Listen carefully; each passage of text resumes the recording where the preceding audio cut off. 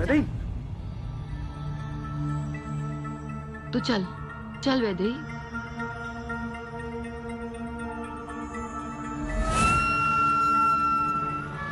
ले वेदी पानी पी ले।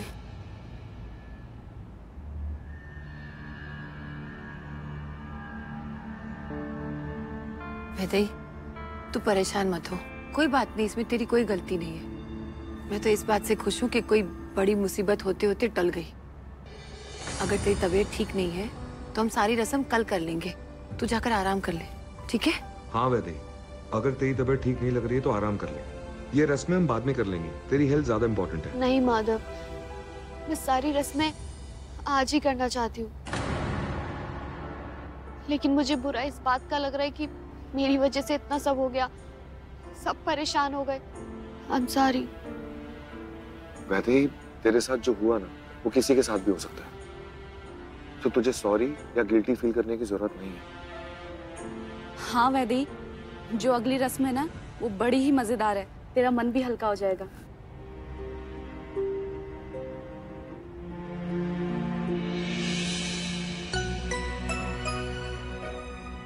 अब मैं इस अंगूठी को इस दूध से भरे थाल में डालूँगी। माधव भैया और वैदई आप दोनों को इस अंगूठी को अपने एक ही हाथ से ढूंढना है। और जो इस अंगूठी को ढूंढ लेगा ज़िंदगी भर उसी की चलेगी।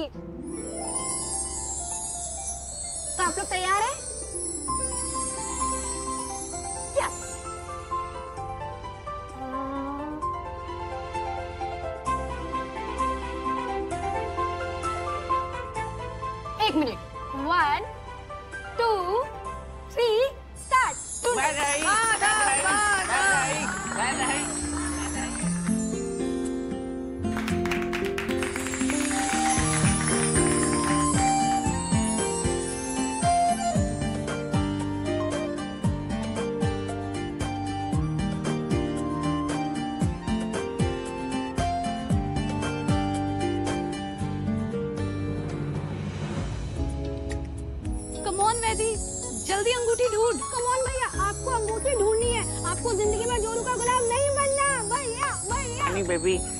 जोरू का गुलाम बनने में क्या दिक्कत है? मुझे देखो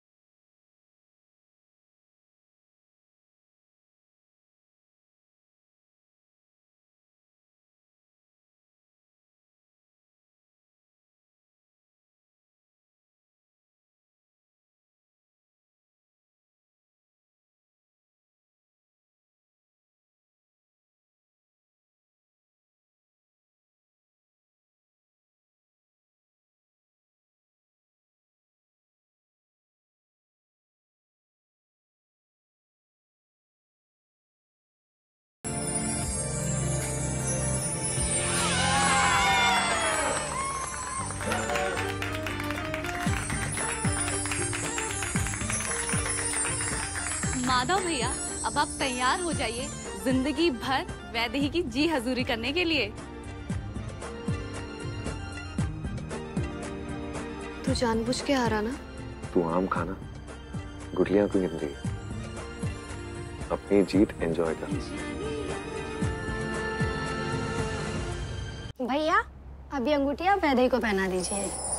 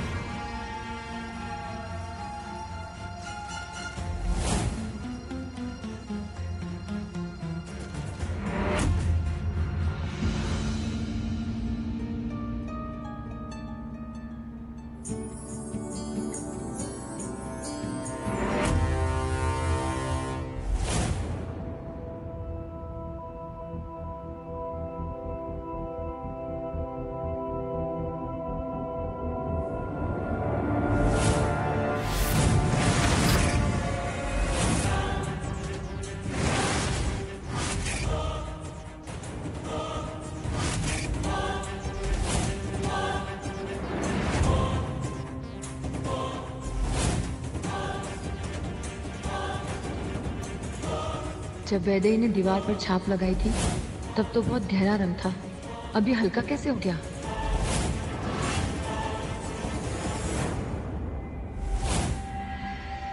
ये सब कुछ क्या हो रहा है?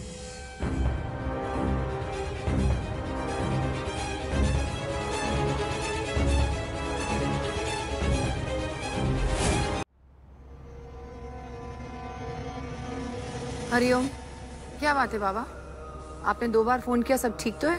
लांबरी तुम्हें एक बहुत ज़रूरी बात बतानी है। इसीलिए बार बार फ़ोन कर रहा था। कहिए। उस चमत्कारी मिट्टी ने अपना काम कर दिया है। क्या? सही कह रहा हूँ। लेकिन मुझे पता चला है कि तुम्हारे घर में काली शक्ति का वास है और ये शक्ति और कोई नहीं चित्रा ही है। चित्रा? आखिर हमने उसे रक्षक से भक्षक बना ही दिया। वाह। ये तो आपने मुझे खुशखबरी दे दी। आखिर चित्रा मेरे जहर की शिकार हो ही गई।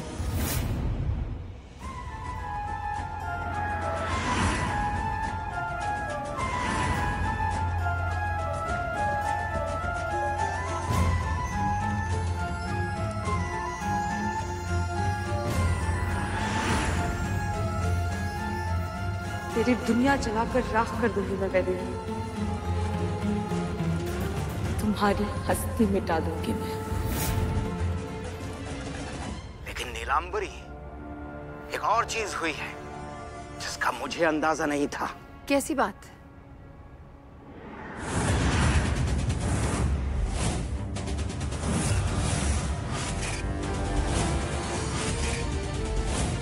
अब चित्रा इंसानों को अपने वश में कर सकती है। उन्हें अपनी उंगलियों पर नचा सकती है। अब चित्रा बहुत ही ताकतवर हो गई है। तो तो अब हम क्या कर सकते हैं? इलाज है नीलांबरी इलाज है। बस तुम्हें उसकी शक्तियों से लड़ने के लिए अपनी शक्तियों को और मज़बूत करना होगा। पर कैसे? इस पूर्णमासी की रात चित्रा को लेकर घाटी के काली मंदिर पर। तुम्हें उससे और उसकी काली शक्तियों से मुकाबला करना होगा। ऐसा करने पर ही तुम्हें वो सब कुछ मिलेगा जो तुम चाहती हो। सच? ठीक है। आप जो कह रहे हैं मैं वो करने के लिए तैयार हूँ।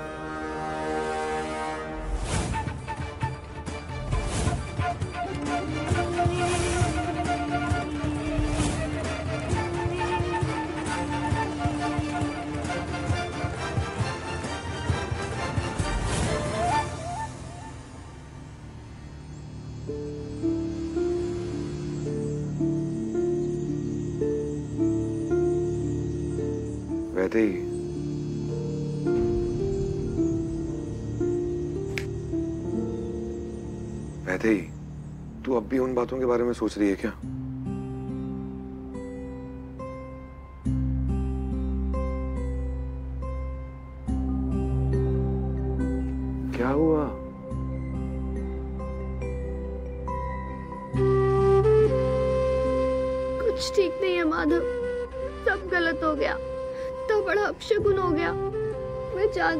जानती शगुन अब शगुन नहीं मानता, लेकिन मैं तो मानती हूँ ना। और ये सब जो हो रहा है, वो ठीक नहीं है। सुबह से एक के बाद एक गलतियाँ कर रही हूँ मैं। सब क्या सोच रहे होंगे मेरे बारे में? पहले दिन ही मैंने सबको नाराज़ कर दिया, माधव। मैं एक अच्छी बहू बनने लायक नहीं हूँ।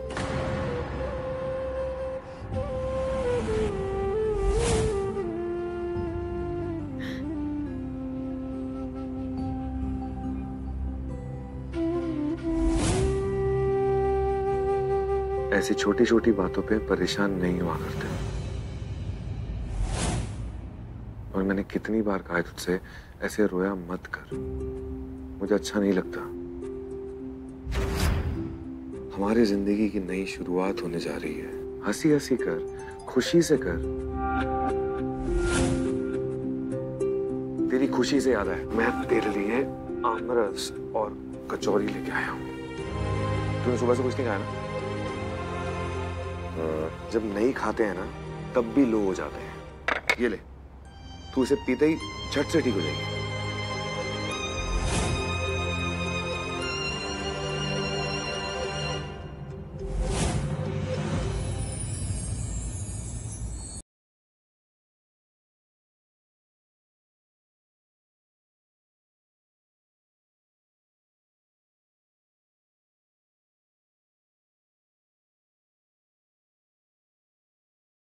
मेरी तबीयत ठीक नहीं है माधव।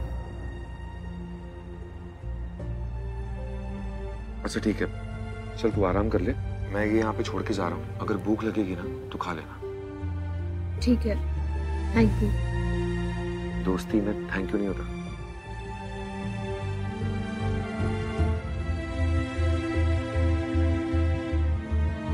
चला जा आराम कर।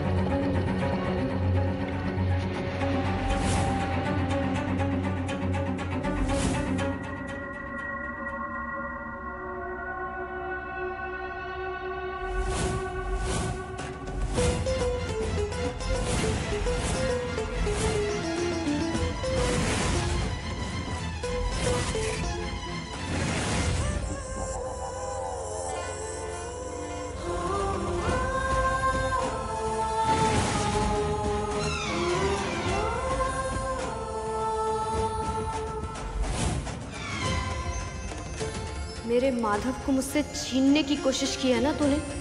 इसका अंजाम तो तुझे भुगतना पड़ेगा।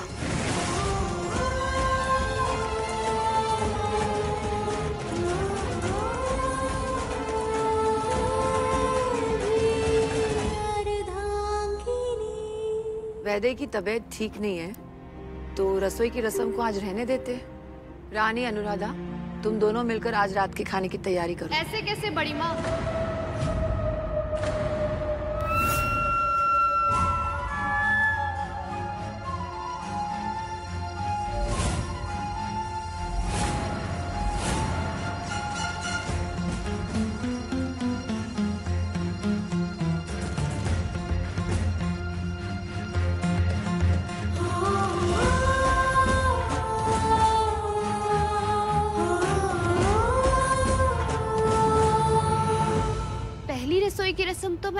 ही करूँगी।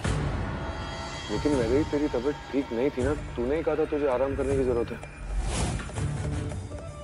हाँ हाँ कहा तो था लेकिन अब मैंने मन बदल लिया है। अब मैं इस घर की नई बहू हूँ ना और ये मेरा पहला दिन है इस घर में तो मैं सारी रस्में आज ही करना चाहती हूँ। ये तो बहुत अच्छी बात है वैदी। पर पक्का तेरी तबीयत ठीक है ना? तो किसी के दबाव या मजबूरी में तो ये रस्म नहीं कर रही है ना? नहीं सासू माँ कोई दबाव या मजबूरी नहीं है। वैदेही को तो वैसे भी रसोई का काम करना बहुत पसंद है है ना? आजा मैं तुझे बताती हूँ कि तुझे क्या क्या करना है। बेटा पहली रसोई बहुत ही खास होती है जो भी बनाना बहुत ही प्यार से बनाना।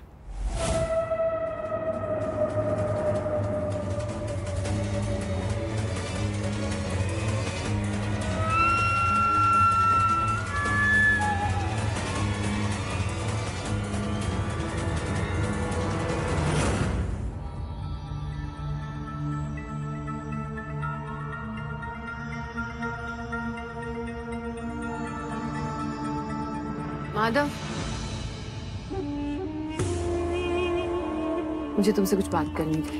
हाँ माँ बोलिए ना। जब से तेरी और वैदेही की शादी हुई है घर में कुछ ना कुछ अनहोनी हो रही है। मुझे लगता है कि तुम दोनों को किसी की नज़र लग गई है।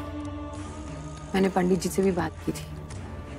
उन्होंने कहा है कि पूर्णमासी की एक रात पहले तुम दोनों के लिए पूजा की जाए। तुम दोनों की खुशियों के लिए मैं चाहती हूँ कि पूजा मैं ही करूँ। इसलिए काली घाटी के मंदिर जा रही हूँ। पूर्णमासी के बाद आ जाऊँगी। तब तक अपना ख्याल रखना। ठीक है।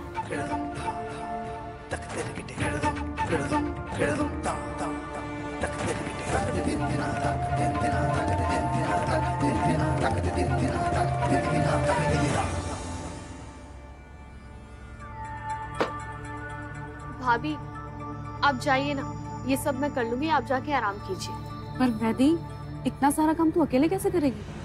मैं कर दी नहीं भाभी मेरी पहली रस्म है ना। मुझे करने दीजिए। अच्छा ठीक है। फिर भी किसी भी चीज़ की ज़रूरत हो तो मुझे बुला लेना। जी।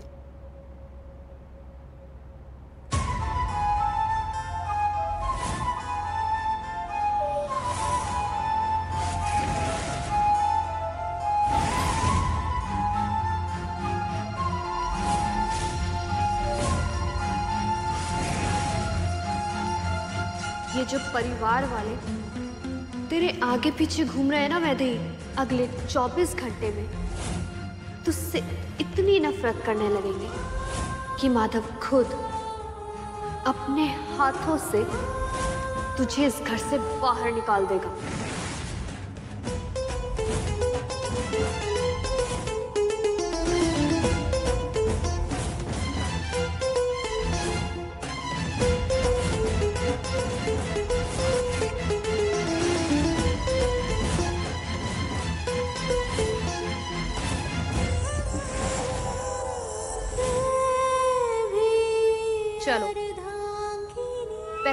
रसोई की रस्म शुरू करते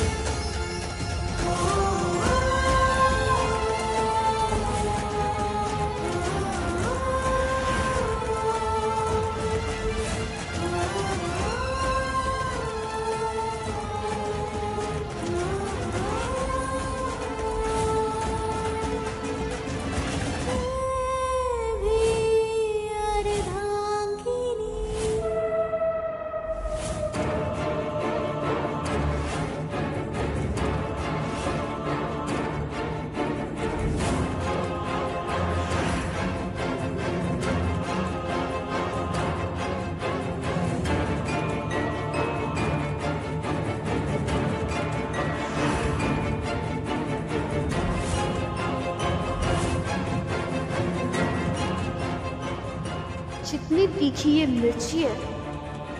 उतनी तीखी बातें सुनने के लिए तैयार हो जा वैदी